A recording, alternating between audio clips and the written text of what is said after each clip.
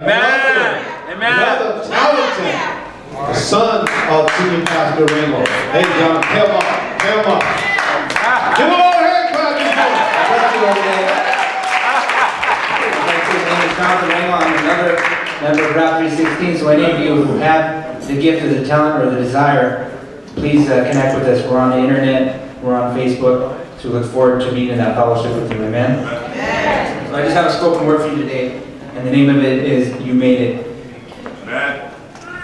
The moment you make it, grabbing yesterday's chains, the pains of the night, completely afraid of your own life and break it, realizing that the miles of tears and piles of ashes and fears couldn't hold you back to celebrate and embrace it. Go ahead and smile a mile, realizing all the while that you never have to fake it again because you made it and you didn't have to face it alone. One man alone stepped up off of his throne and out from behind rolled away stone to fight his way through death and hell just to prove himself true for you and to empower you and the power to make all of your needs come through, your dreams come true, turning all of your problems into opportunities with his new point of view. And even this very minute, as you listen to me spit my convictions, the battle is already over because the war has already been won. And everyone you've ever loved, fought with, or shoved out of your life can be reconciled back to you by the Father of lights who is love.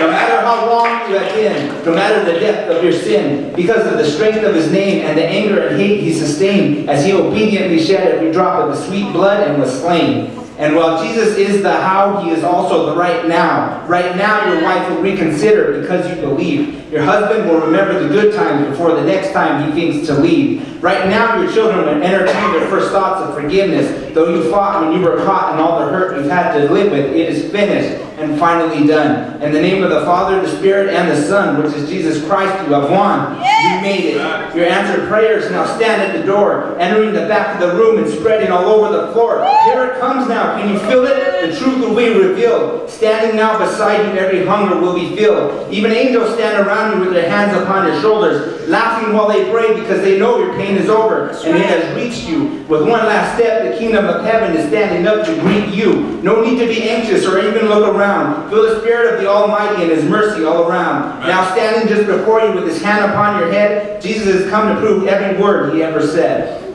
So say it daily, loud and often, and say it seven times more. You made it. You made it. You made it. You made it. You made it. You made it. You made it.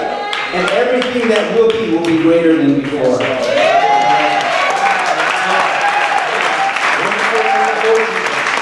Thank you, Jesus. Thank you, Lord. Hallelujah.